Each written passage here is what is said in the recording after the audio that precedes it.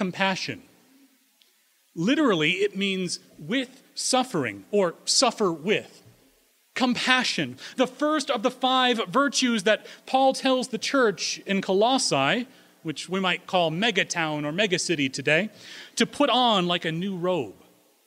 Compassion. G.E. Farley says that it's the root of the primary indictment brought against the church by contemporary young critics the failure to display compassion toward the poor or toward those who are different.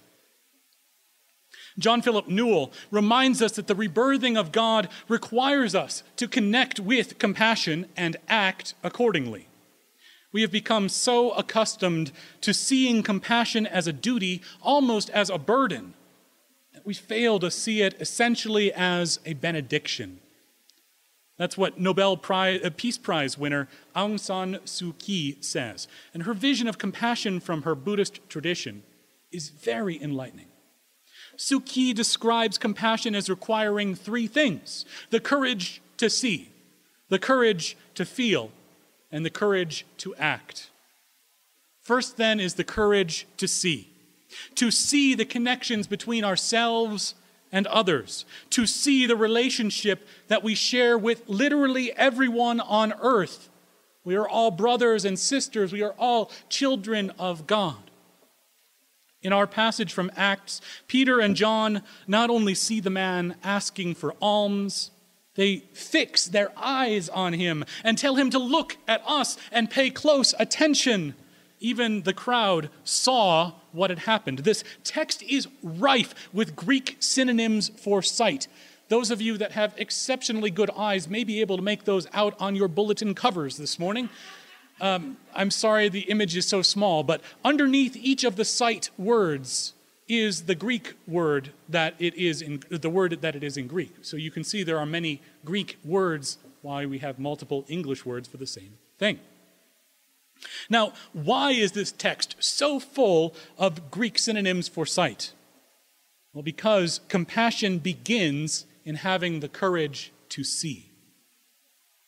Now, maybe you're familiar with Amanda Palmer. She's the poster woman for the musical subgenre of dark cabaret. Yes, that's a thing. Uh, from her time singing in the duo The Dresden Dolls.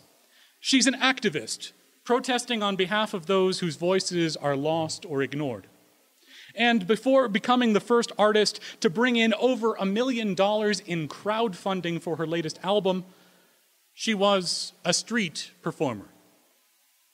I'm going to quote now from her 2013 TED Talk, which I encourage you to watch yourself. Uh, I'm going to link to it on Facebook and on SoundCloud and in YouTube, wherever you're watching this or listening. Look for that link, it'll be there. She says, I was a self employed living statue called the Eight Foot Bride. I painted myself white one day, stood on a box, put a hat or can at my feet, and when someone came by and dropped in money, I handed them a flower and some intense eye contact. And if they didn't take the flower, I threw in a gesture of sadness and longing as they walked away. So I had the most profound encounters with people, especially lonely people who looked like they hadn't talked to anyone in weeks. And we would get this beautiful moment of prolonged eye contact being allowed in a city street, and we would sort of fall in love a little bit. And my eyes would say, Thank you, I see you. And their eyes would say, Nobody ever sees me. Thank you. Palmer had the courage to see and encouraged others to see also. Something as simple as looking into the eyes of people in a public place became an act of compassion. When seeing someone, connecting with them is not commonplace, we cannot call ourselves a compassionate society. We have to see in order to be compassionate. So the rebirthing of God in compassion begins with having the courage to see. The courage to see. The courage to feel. Aung San Suu Kyi embodies the courage to feel in her life. She's from Myanmar, formerly called Burma, and was placed under house arrest by the brutal military dictatorship, the junta, for over 25 years. 25 years in house arrest. Despite the terrible conditions led by the repressive regime, she still had the courage to feel compassion for the leaders of this military dictatorship. If I had really started hating my captors, she says, I would have defeated myself. Suu Kyi avoids hatred by having the courage to feel, not to forget, to, for, to not forget that she has a relationship with them. In the case of the leadership here, they are soldiers, and her father was also a soldier who led Burma's fight against British colonial rule and later Japanese occupation. And though her father was assassinated when she was only two years old, she remembers still being held by his soldiers she says, You are not frightened of people whom you do not hate. It is that straightforward. You are not frightened of people whom you do not hate. John Philip Newell takes this a step further. He writes Suu Kyi teaches that the greatest obstacle to compassion is not hatred, it is habitual patterns of narrow self interest. It is a way of seeing in which we pretend that we can be well simply by looking after ourselves.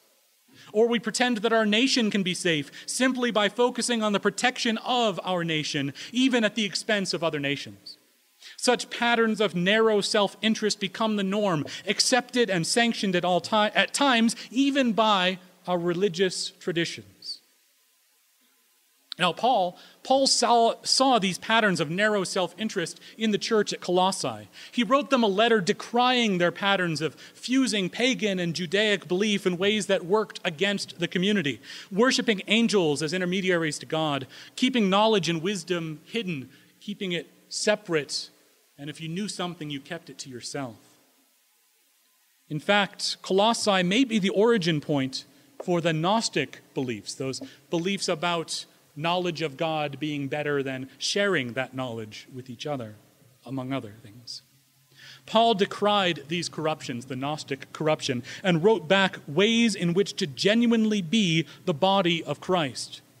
Clothe yourselves with a holy way of life, he writes compassion, kindness, humility, gentleness, and yes, patience. Put up with one another. I love this. Put up with one another. This is the first step we've got to put up with. That's tolerance. But beyond tolerance, putting up with each other is forgiveness and pardoning. We go one step further each step of the way. Forgive, pardon any offenses against one another as the Lord has pardoned you, because you should act in kind. But above all else, put on love. Love is the perfect tie to bind these together. Clothe yourselves with compassion. The first virtue that people see is compassion. Choose to feel connected with everyone just as everyone can perceive what you're wearing. Everyone can perceive what you're wearing. Let them perceive compassion first. Love may be the tie between them all, but compassion is key. Now, forgiveness, how can you show compassion to someone you hold a grudge against?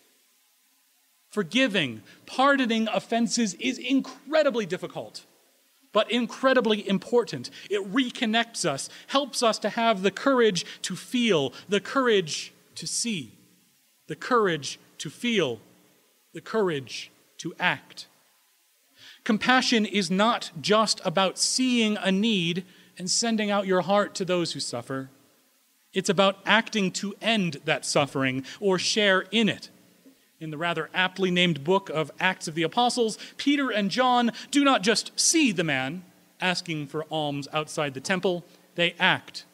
Peter offers healing, knitting up the very bones of the man's ankle and foot and raises him up.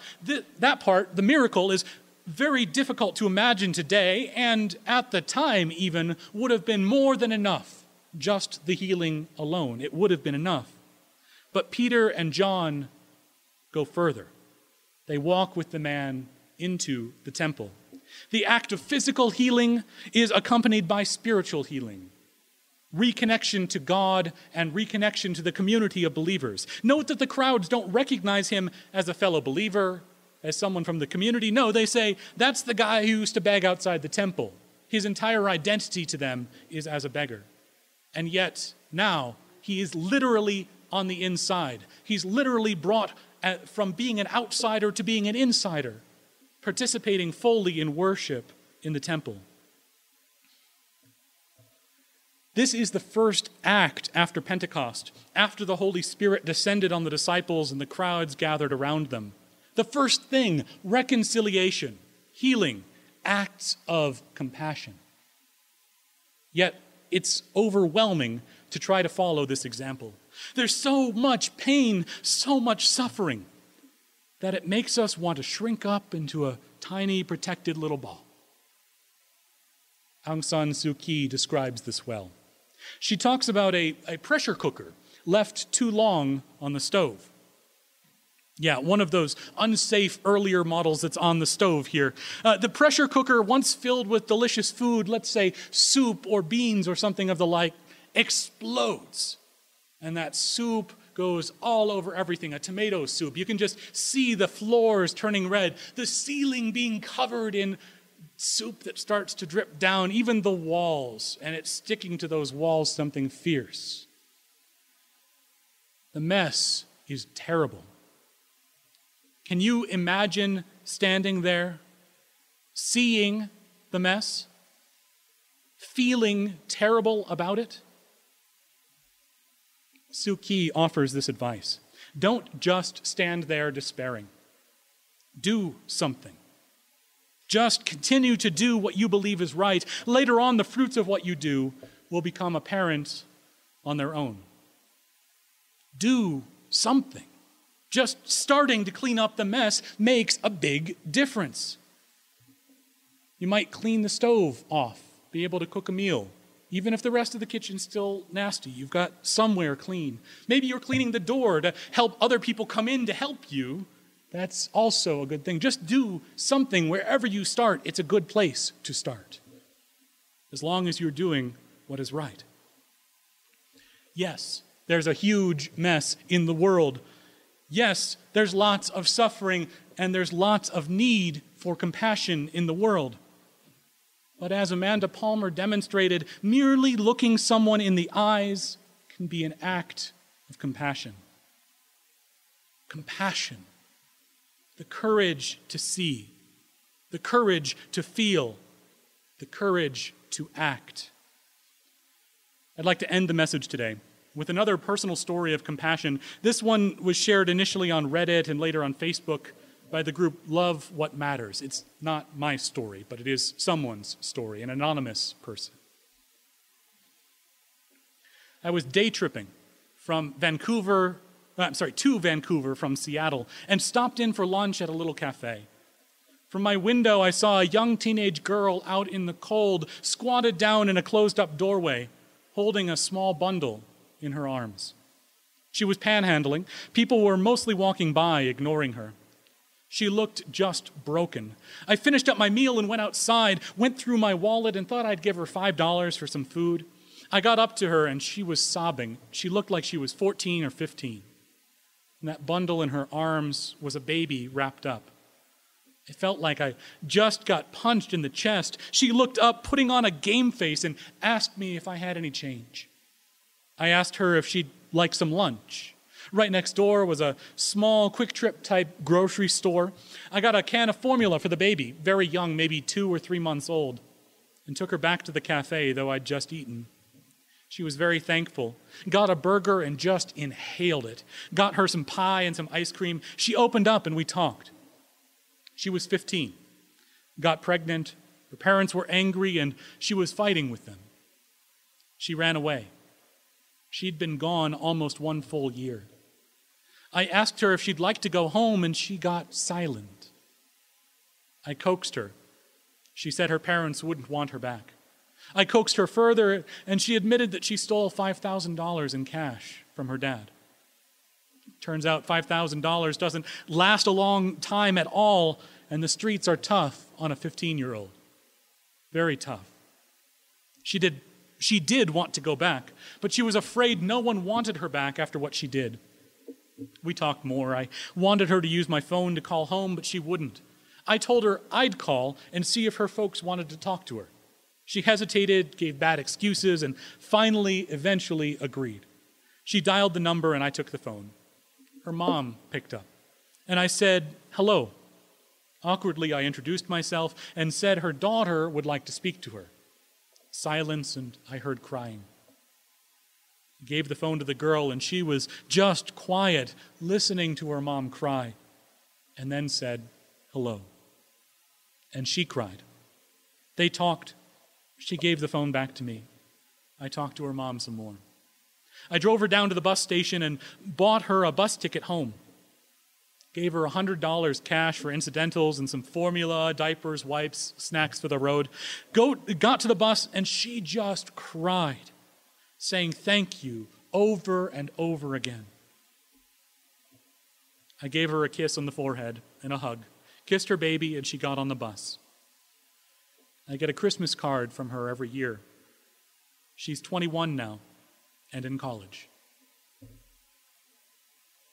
The courage to see, the courage to feel, the courage to act. What a beautiful world it is, even covered in soup.